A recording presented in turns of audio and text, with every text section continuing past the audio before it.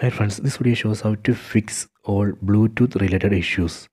Please don't forget to subscribe this channel. Please like and share the video. Go to settings. Tap on the settings app icon. Go down. Select general.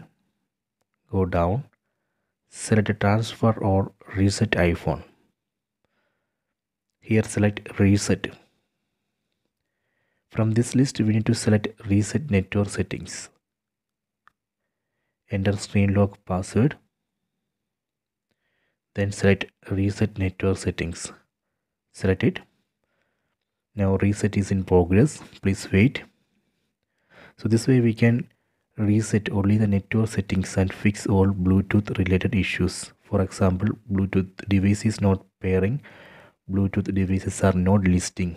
In those situations we can try to reset network settings and fix that issue even if you are facing Wi-Fi or internet related issues in those situations also you can try to reset network settings and fix those issues.